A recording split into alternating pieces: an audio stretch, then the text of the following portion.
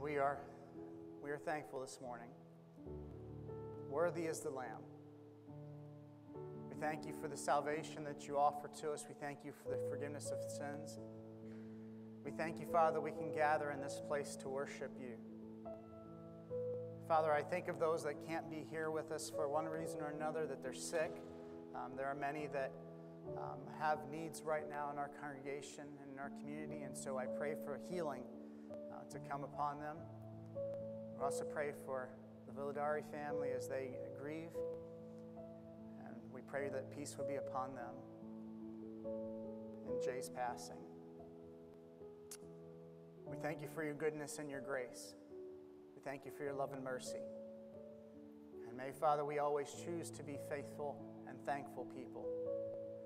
It's in your Son, Jesus' name, we pray. Amen. I'm thankful for our country. I'm thankful for the opportunities that America has provided to so many people. I'm thankful for the wisdom of our founding fathers. I'm thankful for our Constitution, which provides the framework so that we can correct our ways when we get out over our skis. And there have been many times in our history where we've had to make corrections. I'm thankful for the balance of power. That the Supreme Court overturned Roe versus Wade. We have so much to be thankful for in our country, and we forget that sometimes. There are times where you, you know if you pay attention to my social media feed, I can be really hard on our country. I really can be. But that's because I love it so much. I want my children, I want my children's children to enjoy this great land and the opportunities that are set before us. I want them to experience that wealth of opportunity that this country affords to so many people. Does America have its failings? Absolutely. We've not done everything right. We have so many problems that stem from corrupt politicians, idiotic policies, governmental overreach. We, we don't always live up to our ideals. And when we fail, we need to correct our failings. But we don't throw out everything that we believe in or our values. We work to correct the things that we're doing wrong. W.A. Criswell, he wrote this. He said, Our nation was built upon a prayer answering God. If you have been to Valley Forge, you have seen there a heroic statue of General George Washington kneeling in intercession. After our Declaration of Independence in July of 1776, the following dark winter in Valley Forge, waiting, facing almost inevitable defeat, in 1777, the general, down on his knees, imploring the mercies and the help of God. Ten years later, in Independence Hall in Philadelphia, 55 brave men met together to form the Constitution of this new, and I would say God blessed America. On the table in front of the presiding officer was a book. There's one book, it was the Bible. A stranger from afar, he asked the people that were there, he said, Which one of these men is George Washington? And the man replied, when the assembly goes to prayer, the one who kneels will be General George Washington. And seeking an avenue, an instrument guarding the rights and privileges of the people against tyranny and oppression, our founders fought uh, or sought a model in the governments of the world. They looked to Spain, where there they found the rights and privileges were guaranteed by a monarchy but our founding fathers thought if, if a monarchy can grant the rights and privileges, that same monarchy can take them away. And so uh, they turned to England. And there they found the rights and privileges were founded in a parliament. But, said our founding fathers, if a parliament can grant rights and privileges, and that same parliament can take them away. Then they turned to France. And they found that the rights and privileges were guaranteed by a majority. But, said our founding fathers, if a majority can grant rights and privileges, that same majority can also take them away. It was then that our founding fathers turned to Almighty God and found in His omnipotent creation that we are in God's sight rights, privileges, endowments that were granted by God Himself and in his sight we are all created free and equal. This is the God to whom our forefathers sought the blessings of the foundation of America. It's a nation that's founded upon the Christian home and the Christian church. There's not a school child today that doesn't realize that the conquistadors, they came to America seeking gold. But the Puritans, our Puritan forefathers, came to this land seeking God. And the nation they built is great because of their consecrated devotion to the same Lord and God in heaven. Because if a nation were made great by vast expansion, one would say that perhaps Siberian Russia would be the greatest in the world. If a nation was made great by vast resources, you may make the argument that Brazil is, could be the greatest nation in the world. If a nation were made great by vast population, you would say India could be the greatest nation in the world. If a nation was made great by ancient civilization, you could even say China is the greatest nation in the world. But a nation is made great not by vast fertile acres, but by the men who till them. A nation is, is not made great by vast forests, but by the people who use them. A nation is not made great by rich mines, but by the people who work in them. A nation is not made great by a transportation system, but by the people who build them. It was Lyman Abbott who said this America was a great land when Columbus discovered it, but Americans have made of it a great nation because it is founded upon God, upon the church, and upon the Christian home. This text we're going to look at this morning is found in the book of Psalms, and we're going to look at just one verse. This morning I'm going to use the English Standard Version. Normally I use the, the CSB version, but this morning I'm using a different translation of the scriptures because I think it draws out a little bit closer to the original Hebrew what was being said. Hebrews cha- uh, Psalm chapter 33 and verse 12 says this Blessed is the nation whose God is the Lord, the people whom he has chosen as his heritage. Me read that again. I want you to think about it. Blessed is the nation whose God is the Lord. And, and unfortunately, on the screen here, it doesn't bring it out as well as it should. That word Lord should be in all caps because that's God's proper name. That's the names that you see here on the walls around you. That's Yahweh. Blessed is the nation whose God is Yahweh, the people whom he has chosen as his heritage.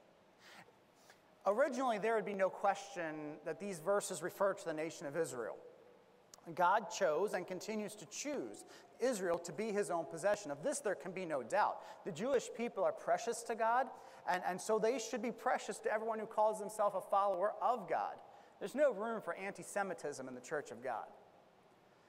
God has chosen the Jewish nation, but by his grace, he has grafted into his vine Gentiles through the establishment of the church. The church is God's possession. The church is the bride of Christ. The church is the flock of God. We are his people.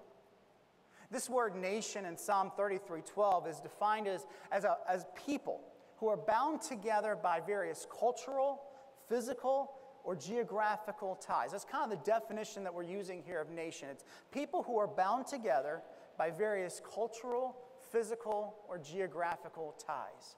So if, if we insert that concept into this verse, we start to gain a clearer picture of what is being said by the psalmist.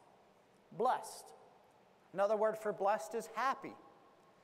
Blessed or happy is the group of people who are bound together by various cultural, physical, or geographical ties, whose God is Yahweh, and who have been chosen by God to be his possession.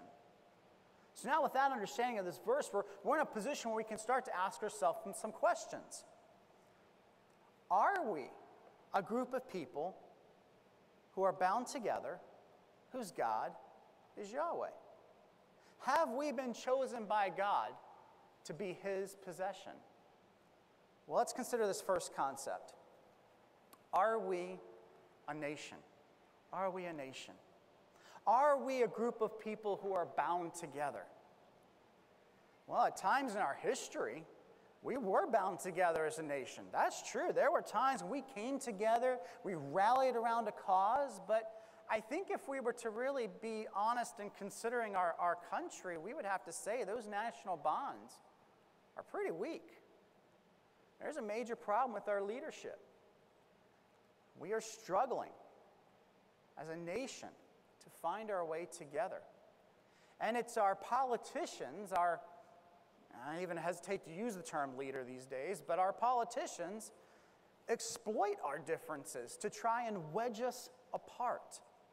Because there's something that we know a divided people is a weak people. It seems as if we don't always share the same culture. It seems as if we do not have the, the, the, physical ties and the geographical ties because of being spread out. It's hard to find the cohesion. So, what does this mean? Well, it means we need to forge new bonds. That's what it means. It means we need to create community and culture. And as the local church, it, it starts with us. It starts with us. America was founded on Christian homes and Christian churches. And so we must prioritize being present with each other every opportunity that we have. We cannot, please hear me when I say this, we cannot continue to neglect gathering together with one another. We must prioritize being with each other every opportunity that we have. We must build, create, and develop our community of faith. We have to prioritize the development of our community of faith. Because if we're going to experience God's blessings, we must bond together and form a growing, vibrant community of faith. This was Jesus' prayer in the book of John. This is what he prayed for us. He prayed that we would be one as he was one with the Father and the Spirit. So, what does this look like? Well, it means that we share meals together. It means that our children should learn together and play together. It means that we need to do things together. We need to celebrate together. Blessed is the nation. Blessed is the, is the group of people who are bound together. But the psalmist doesn't stop there. There's a, there's a blessing in being together. We start there. But the psalmist set some other parameters that must also be true. He said, Blessed is the nation, blessed is the group of people who are bound together, whose God is Yahweh. Blessed is the group of people who are bound together, whose God is Yahweh. So let's ask that question Is Yahweh our God? Who is America's God? The bottom line is that Americans have become a people of depravity and debauchery. It is hard to listen to the news with my children present because of the reports of just the lawlessness and the evil among the American people. I'm sure I don't have to list specifics because you know, as soon as I say those words, things just start flashing into your mind. America is a drug addicted nation. People are abusing drugs in record numbers. Sexual immorality and deviance of all manner of speaking is celebrated. We just experienced this massive depravity on display during the so called Pride Month. That would just disgustingness of all manner of evil of speaking. Sodomites, sexual deviants, and groomers. They destroy the moral fabric of our nation. Families are being ripped apart. Crime and violence, they plague our cities. Our public school system is failing our children and exposing them to all manner of evil. Religious abuse and cults abound, even in our pulpits and seminaries. Leftists are teaching and espousing the teachings of Marxism and critical race theory and the homosexual agenda and all these other evil philosophies. What does this mean? Well, it means that I would be hard pressed to say that the God of the Bible is America's God. It means we, more than ever, must be sure that Yahweh is our God. Is Yahweh the God of this community of faith? And before you quickly say yes, take a moment. Is Yahweh the God of your life? Is Yahweh the God of your life? We will not be blessed if Yahweh is not our God. Are we doing what He says to do? And are we doing what He wants done? Are you living life for any other reason than the glory of God? Because if you are, then Yahweh is not your God. Be sure Yahweh is your God. Be sure Yahweh is your God. What does it look like when Yahweh is your God? Well, it means doing what God has called you to do. That's what it means. It means obeying the great commandment, the great commission. It means prioritizing worship and Bible study and prayer and other spiritual disciplines. It means going where God says to go. It's a call to unquestioning obedience. We need to return to God. We need revival. We need an outpouring of God's Spirit on His people. We need God's people to be sure that Yahweh is their God. Blessed is the nation whose God is Yahweh. Blessed are the people who are chosen, who God has chosen to be his possession. So here's the third question Has God chosen us to be his possession? The beauty of, of this question is that it actually doesn't depend on our action or activity. This is all about God's will and decision. And I want you to know this and be confident of this. The answer to this question is a resounding yes. Yes. God has chosen us to be his possession. At this point in redemptive history, by the grace of God, he has made the way for all people to be his people. Through Jesus Christ, the invitation is open to be God's people. John 3 16 through 18. For God loved the world in this way He gave His one and only Son, so that everyone who believes in Him will not perish, but have eternal life. For God did not send His Son into the world to condemn the world, but to save the world through Him. Anyone who believes in Him is not condemned, but anyone who does not believe is already condemned, because he has not believed in the name of the one and only Son of God. Romans 10 9 through 13. If you confess with your mouth Jesus is Lord and believe in your heart that God raised him from the dead, you will be saved.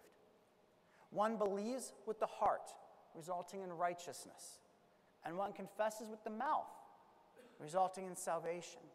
For the scripture says, Everyone who believes on him will not be put to shame, since there is no distinction between Jew and Greek, because the same Lord of all richly blesses all who call on him.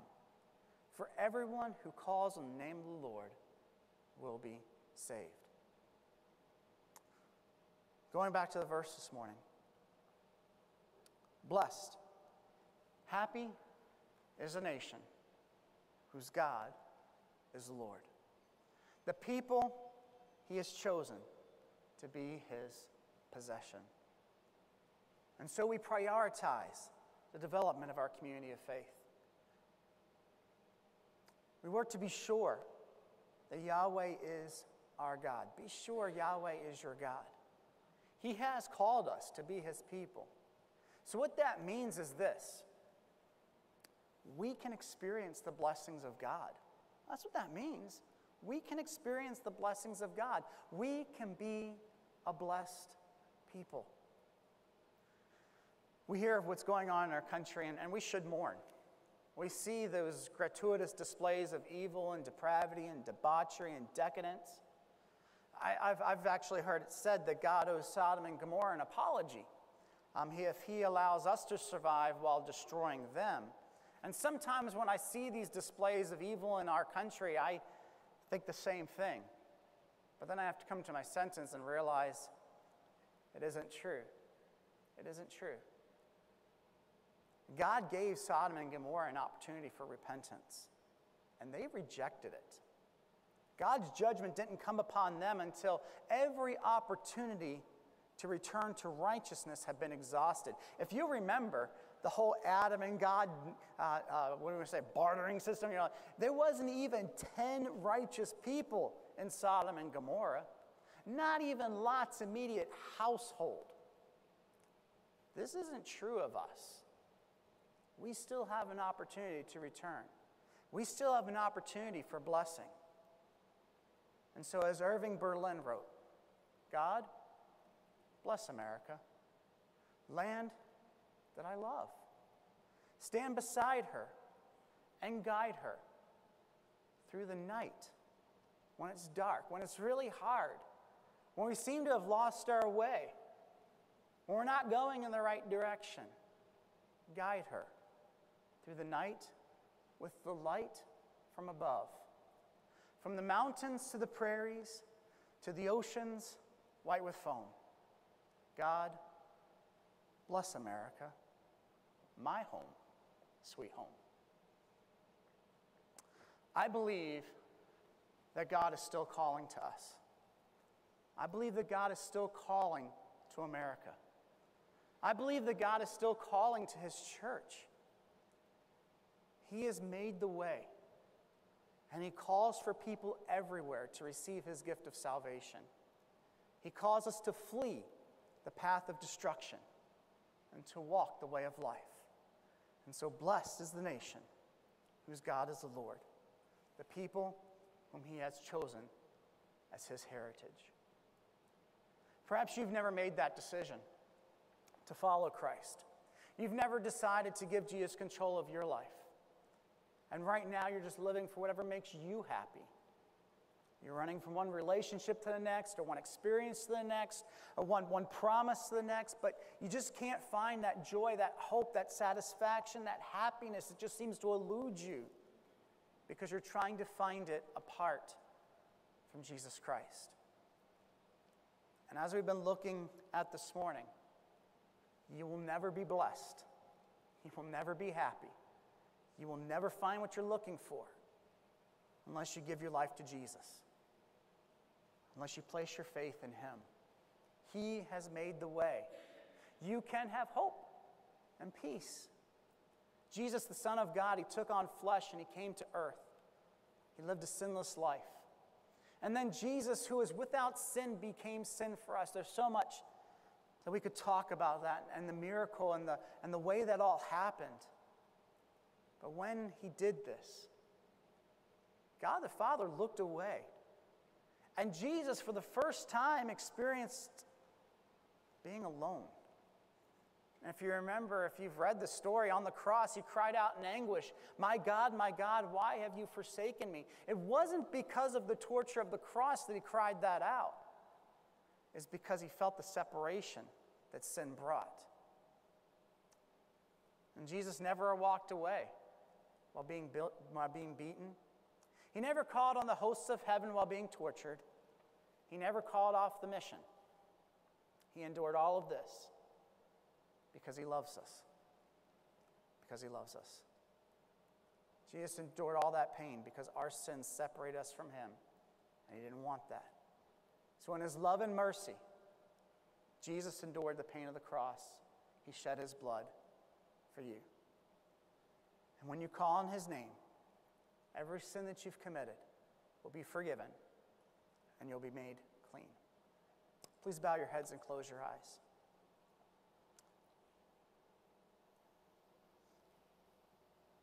I would urge you this morning come to Jesus. Come to Jesus this morning. Acknowledge your need for God's forgiveness from your sins. Experience His forgiveness. He loves you. If that's you, you've never made that decision, you've never decided to follow Jesus, pray with me. Heavenly Father, forgive me for my sins make me clean. I acknowledge Jesus as my Savior and the Lord of my life. My life is not my own. I give it to you. Thank you for new life. In Jesus' name I pray. Amen. Brothers and sisters, before we close this time of reflection, I would ask you to keep your heads bowed and your eyes closed during this time during this time of reflection, let's just take some time. In just a few minutes, we'll be observing communion together, so you want to take some time to reflect on that as well. During this time, pray for our country, pray for our community, pray for our families.